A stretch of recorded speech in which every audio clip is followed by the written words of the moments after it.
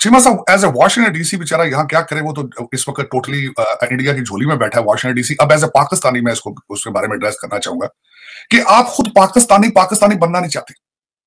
आपने खुद आज तक अपनी आइडेंटिटी और कौमियत के ऊपर तोजो नहीं दी।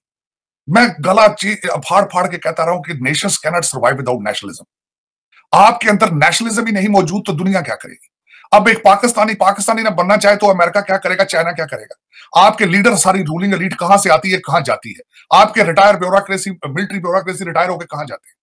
ये कोई ढकी छुपी बात नहीं। अब आज मैं एक मिनट की कंफ्यूजन बताना चाहता हूँ। आज आप कहाँ खड़े आज एक हमारी the most popular party in Pakistan, हर जलसे में वो कहता है कि मैं हकीकी आज़ादी अमेरिका की गुलामी से अच्छा है, पाकिस्तान बनता ही ना।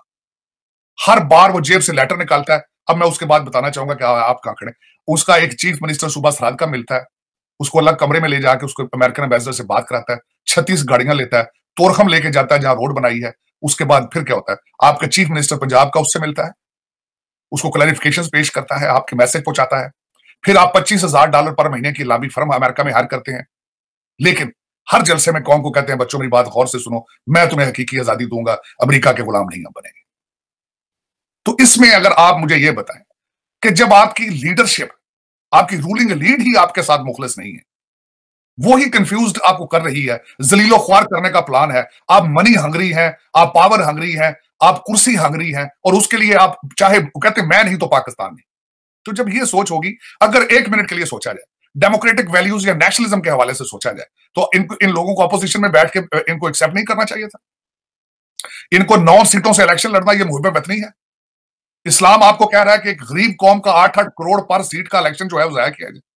ये अवाम कह रहे हैं। और मैं उस पर छोड़े इस बात को। वो भी कहते तेरह अगस्त को बहुत बड़ा जलसा हो रहा है, करोड़ों लगेंगे फाइनेंसर ये तो सारे फाइनेंसर दे रहे हैं ना। कौन सा किसी की जेब से लग रहा है? करोड़ों रुपए लगेंगे।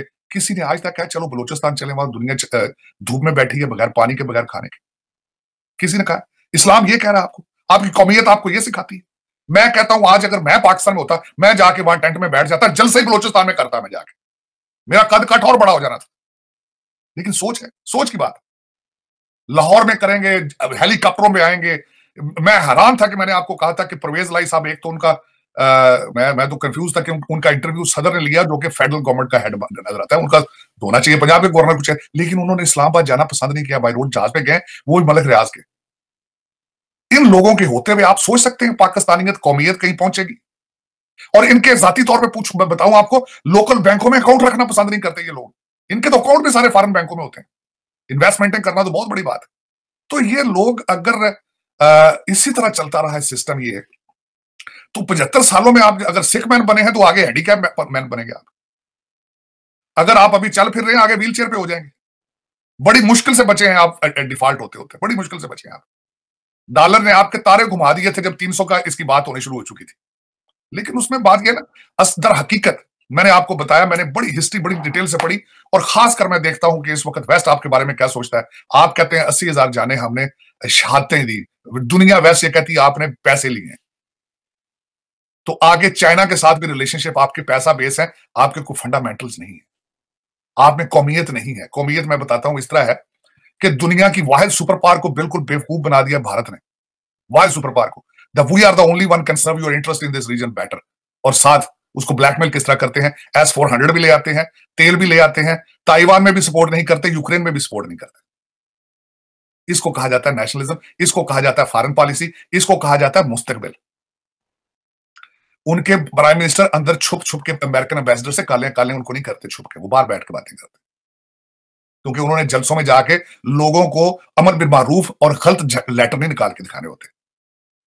तो ये चीमा साहब, ये इसके लिए जब तक मैं खुद, मैं मैं मैं मैं खुद जिस तरह मैंने कई दफ़ा कहा कि I am victim of that मैं भी इसी ख्वाब का, तब्दीली के ख्वाब का विक्टिम हूँ।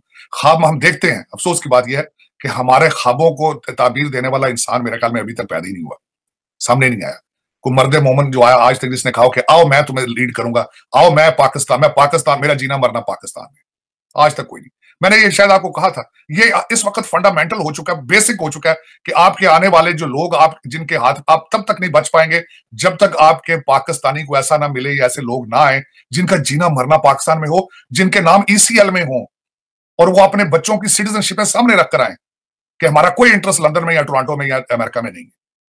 तो वो, आप जब पाकिस्तानी पाकिस्तानी बनना पसंद नहीं करते, लोग आपको दुनिया किस तरह ज़बरदस्ती आपको पाकिस्तानी बनाए? ये तो आपको ये हिम्मत करनी पड़ेगी। ये कड़वा घूट तो आपको ही पीना पड़ेगा कि अपना लीडर को लोकल ढूंढे आप। अभी तक तो आप सारे फॉरन रूलर आपको रूल कर रहे हैं, लंदन से बैठ के आप ऑपरेट हो रहे हैं पिछले मेरा मकसद पचहत्तर सालों में से आपके, मेरा पचास साल, सिकंदर मिर्ज़ा कहाँ गए थे? अब देखें, आपके तो आपके आधे आपके रूलिंग लीड की तो कब्रें भी नहीं है पाकिस्तान में। तो आप फिर कहते हैं कि हमारा डायरेक्शन हमारी पचहत्तर साल की हिस्ट्री अगर मुझसे पूछे, मैं अपने आप को एक जख्मी जख्मी पाकिस्तानी समझता हूँ। उसकी वजह यह है, आप कोई भी ढंग की पचहत्तर साल की हिस्ट्री की किताब उठा के देख ले तो शर्मिंदगी के अलावा क्या है उसमें? मुझे ये बताएँ, कोई नेशनलिज्म आज तक किसी ने दिखाया कि देखे मैं नेशनलिस्ट हूँ? मैं जीऊँगा और मैं मरूँगा भी पाकिस्तान के साथ, नहीं। और हमारे जैसे लोग जो है, हम ब्रेन ड्रेन का हिस्सा है, बाहर निकले, मजदूरियाँ हाजिर होकर निकले इस सिस्टम की वजह से।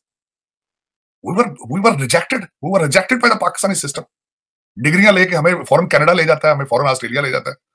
और दूसरे जो अमीर लोगों के बच्चे हैं तो वैसे ही तो प्रॉपर्टियाँ लेके सिटीजनशिप ले लेते हैं। उनको तो डीलें बनती होती हैं उनकी। डीलों के ज़रिए बाहर आ जाते हैं। लेकिन ये एक ट्रेजिडी है। डॉक्टर साहब एक इम्पोर्टेंट क्वेश्चन ये है कि जितनी हम ये एक सिचुएशन डिस्कस करते हैं, जो हमने पचहत्तर साल आपने एक प्रॉपर डिफरेंट जो जो थे, इराज को डिस्कस किया। दरअसल इन सारी चीज़ों के बाद तो नेशनल कॉन्फिडेंस जो है, वो मुल्क लूज कर जाते हैं। और जब अभी आपने डॉलर की बात की सिक्योरिटी की बात की लॉ एंड ऑर्डर की हमने बात की दुनिया में अफ़गानिस्तान के लेंस से देखती है तो एक नेशनल कॉन्फिडेंस जो है वो लूज कर चुके हैं। लीडरशिप को अपने आप पे कॉन्फिडेंस नहीं है। इमरान खान हमें कहते हैं रियासत मदीना बनाऊँगा लाहौर में वो आज जलसे में गए हैं कुछ चालीस गाड़ियों का प्रोटोकॉल था।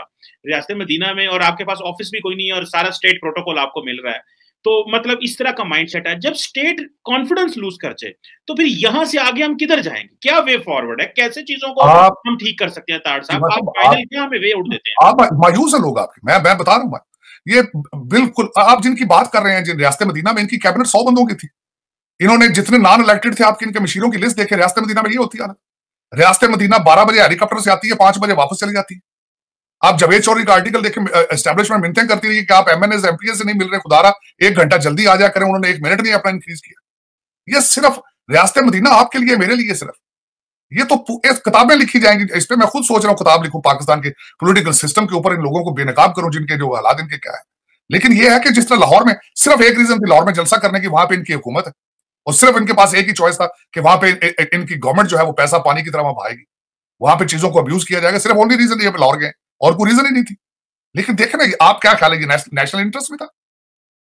नेशनल इंटरेस्ट इंटरेस्ट में था कि लाहौर जाके इतना बड़ा जलसा किया जाए?